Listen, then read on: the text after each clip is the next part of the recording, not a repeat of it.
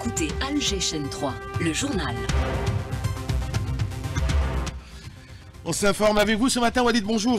Bonjour Hakim Bay, mesdames, messieurs, bonjour. Et au sommaire de la matinale de ce dimanche 7 janvier, les répercussions de la situation dans la bande de Gaza, la nécessité de parvenir à une solution juste et durable de la question palestinienne évoquée lors d'un appel téléphonique euh, euh, du, euh, du, du secrétaire d'État américain au ministre des Affaires étrangères, l'occasion pour Ahmed Attaf d'exprimer ses profonds regrets concernant le dernier communiqué américain sur la liberté de culte en Algérie. L'entreprise génocidaire sioniste contre le peuple palestinien qui entre dans son quatrième mois, une résistance palestinienne toujours aussi farouche. Le Conseil de sécurité de l'ONU qui réaffirme le caractère central de l'accord pour la paix et la réconciliation au Mali de 2015 issu du processus d'Alger. Et puis les chamboulements géostratégiques et des enjeux, la question énergétique, on en parle ce matin, l'Algérie pays fiable. L'Algérie qui a pris, je vous rappelle, à partir du 29 février, le Forum international des pays producteurs et exportateurs de pétrole. Il y aura également du sport football avec la 12e journée du championnat de Ligue 1. Score de parité, un but partout dans le Classico entre le Moudia d'Alger et la JS Kabylie.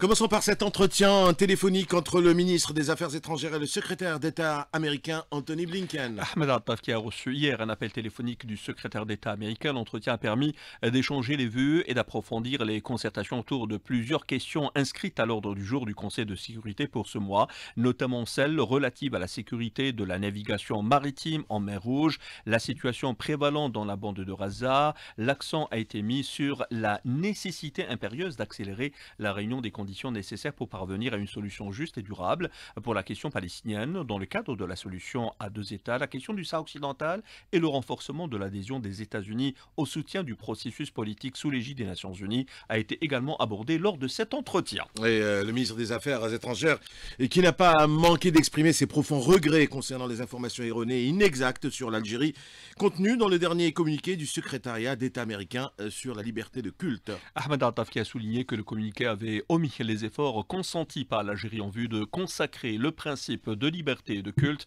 et de pratique religieuse, un principe garanti par la Constitution algérienne de manière claire et sans équivoque.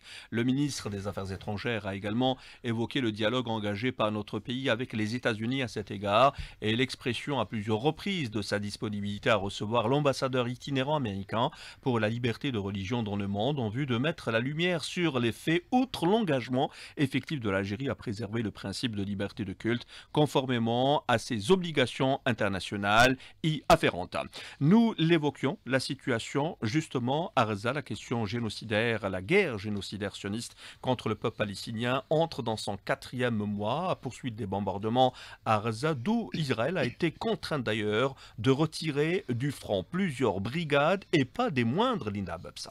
Les nouvelles sont plutôt bonnes, confèrent les dernières déclarations de l'ancien chef d'état-major israélien qui a déclaré Nos meilleurs jeunes se font tirer comme des canards à Gaza pour zéro résultat militaire. Pendant ce temps, les missiles du Hamas continuent à pleuvoir sur Tel Aviv et sur d'autres colonies avec des rampes de lancement situées dans des quartiers qu'Israël dit avoir occupés. Hier, à Ben Souheila, une brigade a été pulvérisée par Katav el-Qassam, qui a également neutralisé 780 chars au total, dont des chars Markava.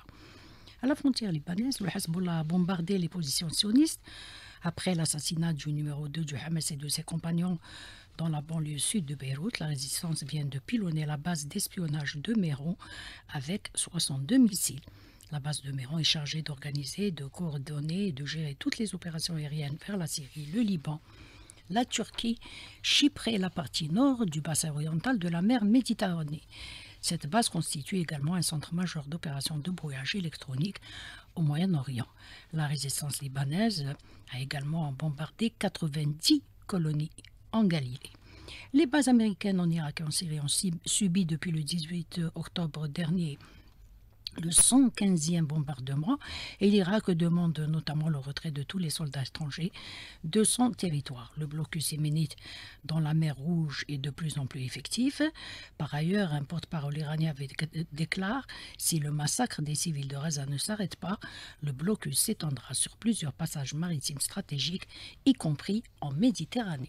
Et nous vous disions en titre le Conseil de sécurité de l'ONU qui a réaffirmé le caractère central de l'accord pour la paix et la réconciliation au Mali de 2015 issu du processus d'Alger, exhortant toutes les parties signataires à reprendre le dialogue et à s'engager dans la mise en œuvre de l'accord pour garantir la paix et la stabilité euh, au euh, Mali.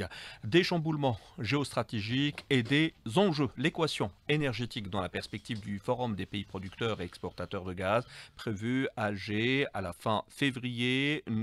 En parlant ce matin, les pays exportateurs de gaz font face en effet à de nombreux enjeux géostratégiques et le Forum international du gaz qu'abritera euh, l'Algérie cette année constituera une occasion pour parler des questions clés relatives à l'avenir du gaz naturel, notamment le rôle du gaz en tant qu'énergie de transition et trouver des mécanismes pour garantir la sécurité énergétique de ces pays. C'est le thème auquel s'intéresse ce matin Rimbo.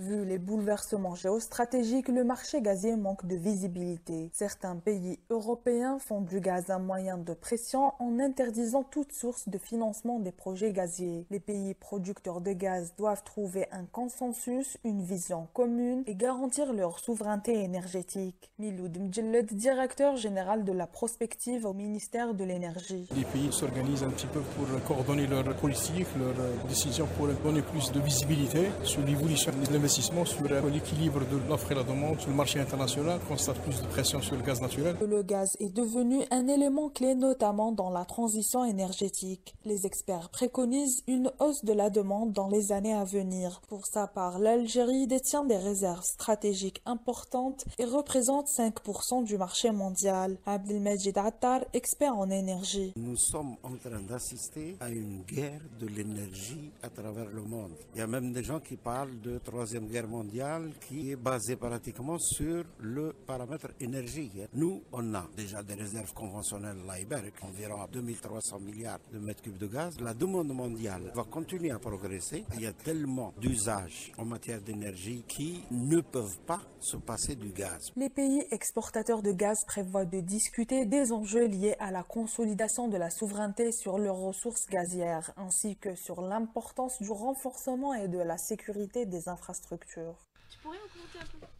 et puisqu'on parle euh, énergie et production gazière, l'Algérie euh, qui reste un pays fournisseur fiable grâce à sa production et à sa maîtrise des technologies. D'ailleurs, à l'instar du projet euh, de la sismique 3D euh, lancé euh, au niveau du champ de Hassim Saoud par Sonatrach, l'emploi de la technologie dans l'exploration gazière et pétrolière peut avoir divers avantages. Les systèmes d'information géographique à travers l'information spatiale et images satellitaires permettent de générer de la donnée propice à la prise de décision pour une exploitation optimale et une réduction des risques dans les sites d'exploration. C'est des cartes, des images satellitaires, des données numériques pour aider à l'exploration gazière et pétrolière, à commencer par délimiter l'environnement du projet, soit avoir une connaissance parfaite du site en question. Reda Bouzida, gérant du bureau d'études African Geosystem Company. On commence déjà par délimiter dans le SIG les zones d'exploration. Puis celle-ci est superposée avec toutes les couches relatives à l'environnement du projet. Tous ces éléments d'information vont contribuer à la prise de décision. La deuxième étape, c'est la phase de réalisation du projet, soit l'installation d'infrastructures pour arriver au fourrage, en prenant en compte les données récoltées auparavant, des concepts qui s'appuient sur des outils et sur diverses compétences liées à la formation spatiale et à son exploitation. Également, les SIG sont des outils très utilisés comme le data management dans sa responsabilité de collecter, de contrôler, d'intégrer, valider et de stocker correctement l'information géographique. Les technologies émergentes telles que l'Internet des objets sert également à automatiser certaines tâches lors du forage, voire à ajouter une couche de sécurité tout en réduisant les coûts et risques liés à l'exploration gazière et pétrolière. Moussa Daoud, cofondateur de Technologie. D'abord, on peut l'utiliser par rapport à la prévention de risques, bien évidemment, en plaçant des capteurs dans des zones sensibles avec des lanceurs d'alerte beaucoup plus centralisés selon l'ampleur du risque. L'exploitation des TIC, des systèmes d'information géographique ou autres concepts similaires permet également de réduire l'empreinte carbone un geste pour l'environnement tout en gardant le même taux de production, le même rendement lors de l'exploitation gazière ou pétrolière. Et euh, une première dans l'histoire euh, de la Caisse nationale des retraites. La Caisse nationale de retraite qui vient d'être félicitée pour les qualités de ses prestations. Toutes ces agences à travers le pays ont reçu le label qualité d'accueil délivré par l'Institut national de la normalisation d'Afra Abdali, directeur général de la CNR, au micro de Smaïl Biboudi. Nous avons accordé une grande importance à ce projet du fait qu'il s'agit des retraités, ce sont des personnes âgées et qui requièrent une prise en charge de haut niveau. Ça s'inscrit aussi dans le cadre de l'un des engagements de M. le Président de la République qui considère que le citoyen doit être au centre de nos préoccupations. Nous essayons de garantir les meilleures conditions de prise en charge, notamment en matière d'accueil, en matière d'écoute, en matière de traitement des doléances, de suivi des requêtes, en matière de délai d'attente aussi. Aujourd'hui, euh, dimanche 7 euh, janvier, c'est la, euh, la, rentrée scolaire après 15 jours de vacances pour les petits, mais aussi les grands sous un ciel qui reste encore gris, un peu pluvieux, Walid Selman. Tout à fait, pluie, neige et vent fort ont marqué d'ailleurs ce week-end, Hakim, toute la partie nord du pays qui a été placée sous en alerte orange. L'alerte qui a expiré ce matin.